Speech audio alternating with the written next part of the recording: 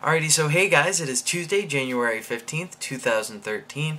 My name is TJ Mercier, and this is Ice Court and Field, the new YouTube sportscasting show with a twist. Think like the Philip DeFranco show, but like mixed with Sports Center. We will be covering very important and very silly stories that are going on in the sports world, and we'll have people on to talk about those sports. We'll have like special guests and stuff. Um, it's all going to be very exciting. But for now, let's move on to the first story of the day, which is Lance Armstrong. USA Today has reported that Lance Armstrong has admitted to using performance enhancing drugs in an interview with everybody's favorite shoulder to cry on, Oprah Winfrey. Now, aside from the frustration that I will have to watch the Oprah Winfrey network in order for me me to see this interview, this is a very infuriating story for me. Lance Armstrong, for those who don't know, was the winningest cyclist in the history of the sport, winning the Tour de France seven times. But all of his titles from August 1998 until his retirement were vacated as a result of the findings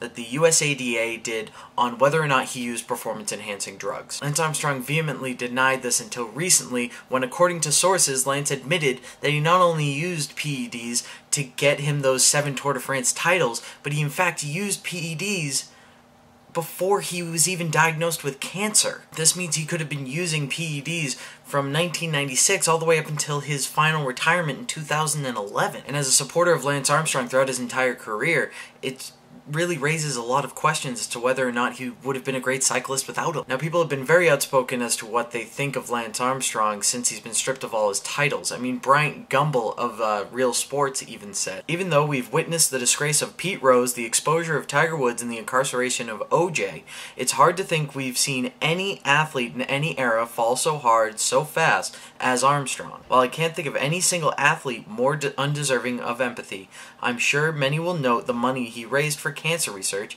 and see him simply as a flawed hero. But in light of his cited patterns of deception, intimidation, and coercion, it's hard not to see even his charity work as simply part of his con act. Now, I'm not going to excuse Lance's PED use because that, frankly, is inexcusable.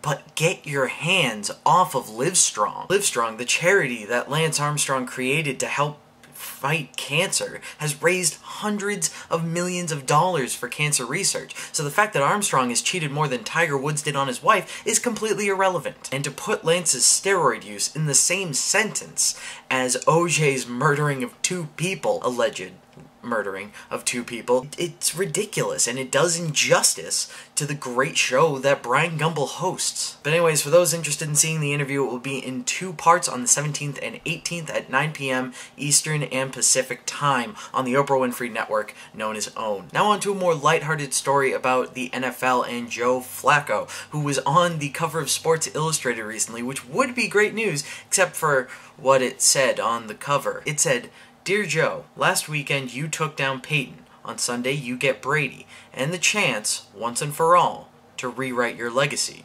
All the best, the football gods. The article in question was written by Peter King and argues that Flacco is actually one of the elite quarterbacks in the NFL. He cites that Flacco has more wins than any QB since 2008, and he has, I believe it's 61. Still, it argues that Flacco has been denied the praise because of what the Ravens have always been a defensive minded team. As for what I think, I have to say that I actually agree with this. Flacco is a great quarterback. I would rank him in the top five, top six. I mean, he wouldn't be part of like a best all time discussion, but yeah, I, I the guy turns it on late, and when he turns it on, there are very few Q- QBs that I fear more than Joe Flacco. And this is coming from a Pats fan who had to deal with Peyton Manning every year. Still, Flacco will be going up against a surging Pats secondary who are looking to shut him down and to silence all of their critics as well in what is going to be an intense rematch of last year's playoff game. For those interested, the Pats and Ravens will be playing for the AFC Championship on Sunday at 6:30 p.m. Eastern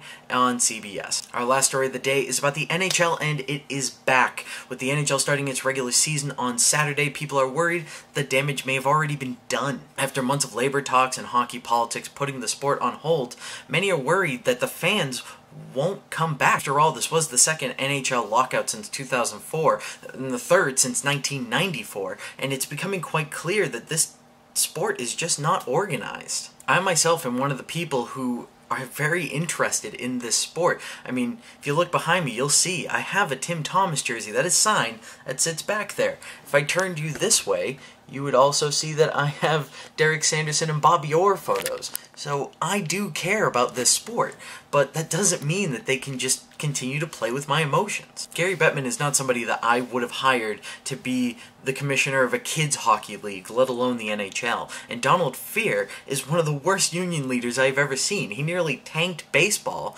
and then for good measure just decided to tank hockey as well. But still, hockey is one of the most entertaining sports that I've ever watched in my entire life. And even though I hate the people who are in charge of this sport, I'm going to have a hard time staying away from the exciting action that this sport brings. But that is it for me today, which brings us to the question of the day, and that is what do you think of Lance Armstrong? Do you think he's a flawed hero? Do you think he's a despicable human being? Do you think he's somewhere in between? Let me know in the comment section down below. If you want to like and subscribe, there are buttons down there near the description where you can click and then you'll receive more of these. Uh, we're going to be doing these fairly regularly.